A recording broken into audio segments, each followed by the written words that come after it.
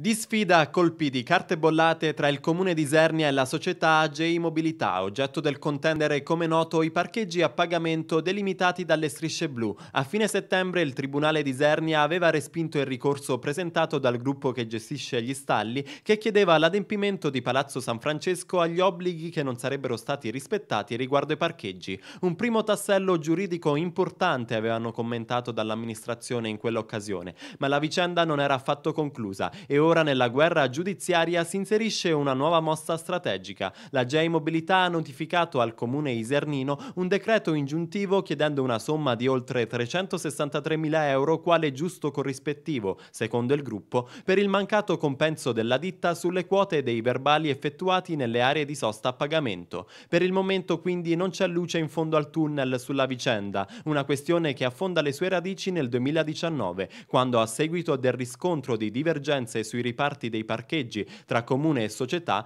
non si arrivò alla sottoscrizione tra le parti del contratto di affidamento della concessione. A seguito della notifica del decreto ingiuntivo, l'amministrazione comunale ha cominciato a preparare la sua controffensiva. Con delibera la Giunta ha proposto la nomina di un legale con comprovata esperienza in diritto amministrativo per affrontare la questione parcheggi. Secondo Palazzo San Francesco, la J Mobilità non avrebbe ancora versato il canone di affidamento del servizio pari a circa 160 62.000 euro. Fine ultimo del gruppo guidato dal sindaco Piero Castrataro è quello di porre fine allo scontro ed eliminare le strisce blu per dare forma a una visione di mobilità verde rispondente alle necessità socio-economiche dei cittadini.